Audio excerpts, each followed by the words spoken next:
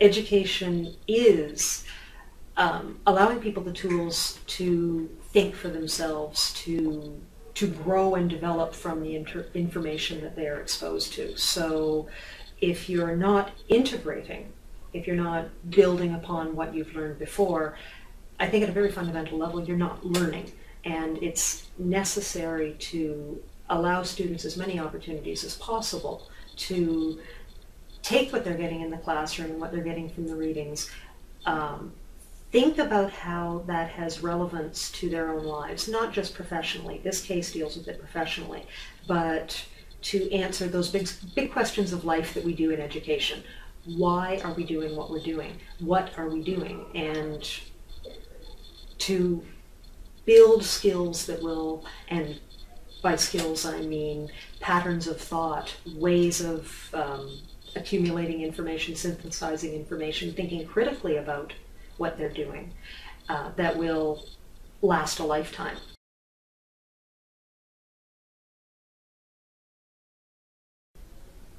Integrating the speech com and the, um, the accountancy material serves that purpose, but it also manages to make speech communication very relevant for the accountancy students, many of whom tended to wonder, okay, why are we learning how to give a speech? We're not going to be giving speeches, but they are going to be giving presentations. Um, many of whom aren't necessarily going to look at interpersonal communication because we could ask them to say, or conceivably they could be asked to take public speaking, leadership, small group, or interpersonal communication, any of the other courses that cover some of the material. But if the students are saying, okay, why do I have to know this?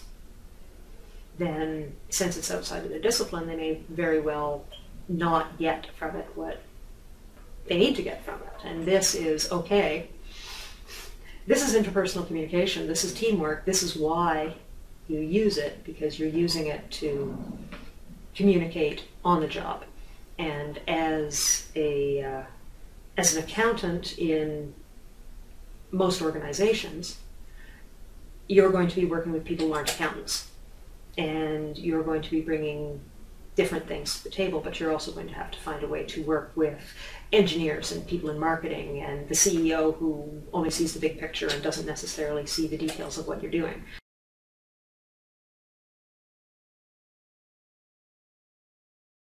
For years, we have been providing accounting students with um, SpeechComm 223, which is the public speaking course. It is open to all students in all faculties. We run it for our own majors as well, and it has um, served to fulfill a purpose that employers have wanted from the accountancy students, and that is their communication skills. And um, from accounting, we learned that while the public speaking element would still be important, that what they also wanted, what employers wanted, what the faculty wanted from their students was um, more understanding of situations other than public speaking as well. So leadership, working in groups, collaboration, that sort of thing. And to integrate the material more fully with what they had already been learning. One of the key elements in this course, and the, the element of this course that really does set it apart, is the fact that it is building towards students being able to uh, analyze an accountancy case study. And it's something that is a very introductory version of something that students are doing in senior years, where they are given a, a case based upon a real industry and a real problem and asked to solve it. Ours is a more fictional case because we integrated interpersonal elements into that case. We integrated communication elements into that case.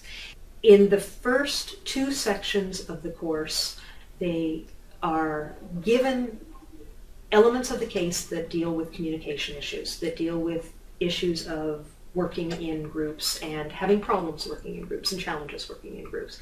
And this is integrated into the theoretical readings that students are doing, the first set of presentations that students do, which are individual presentations.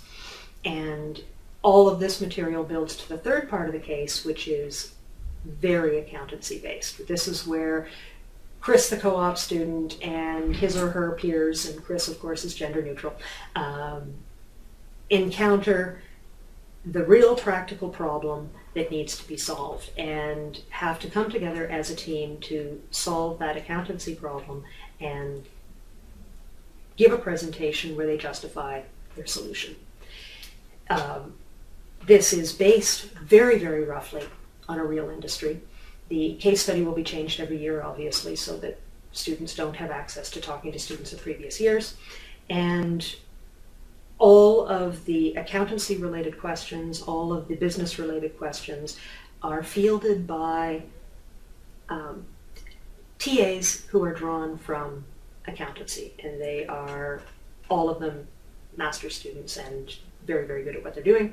And so, in the fictional uh, world that the case study creates, in which the student is a co op student working at this company, the SpeechCom people are the CEOs of the company. And we go with the assumption the CEO wants to see things solved, wants to see people take leadership positions, doesn't necessarily know what the accountants are doing or how they're arriving at what they're, they're doing. The TA is the CFO. So we had roles to play in the presentations as well. And so students had, and they had a very short period of time, and this is part of the expectations of the case. You're hitting the ground running, you've got a week to deal with this problem, to come up with a solution, to create a presentation that's professional where you present this solution to people who will then accept or reject your solution. And they were given access to the TAs to ask questions. But part of part of the challenge of the assignment, of course, is they have to integrate what they've already learned in their accountancy courses from the previous term and what they've learned in their interpersonal leadership uh, material that they've taken so far. And uh, that's, that's really the integrated aspect of the case.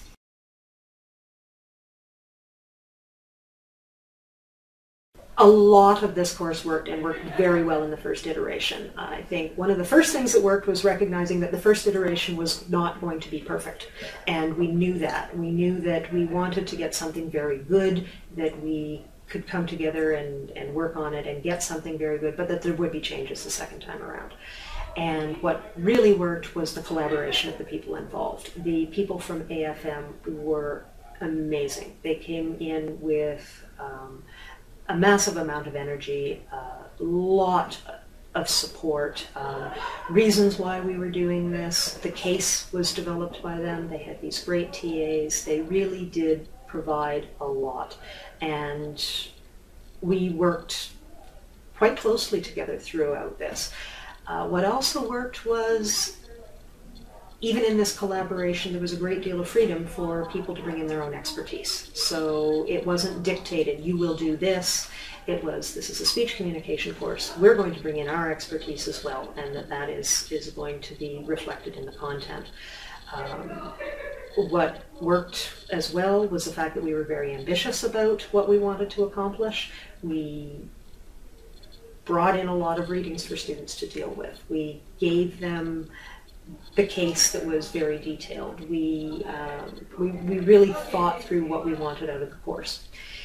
What for the next time we found, and the challenges, of course, the major challenge of this course was synthesizing as much as we needed to do in 12 weeks.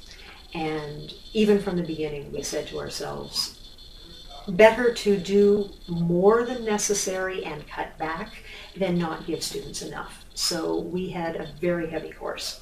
And students are still going to have the case, they're still going to have the tight deadline, they're still going to have quite a few readings, but we're going to uh, reorder the course because we found we started with an interpersonal communication section, for example, where they did a lot of reading, we had a lot of discussion. For several weeks, students seemed to be at loose ends about what that meant to them. Why are we taking this? Why are we talking about ourselves, our relationships, um, our perceptions of others? And it slowly coalesced. Oh, oh, this is why. This is why. Um, we are switching the order now so that they begin with an activity. They begin with a public speaking um, event where they are doing an informative speech. They learn those skills. They are able to develop that. And then we consider the interpersonal so that once they have started thinking about okay, I have to present myself to an audience. Maybe if I understand the interpersonal material, I will start to understand audiences better. So we found that the order wanted to be tweaked. We, uh, we, we do have a lot still to get through, but that should hopefully make it more relevant for students right from the beginning.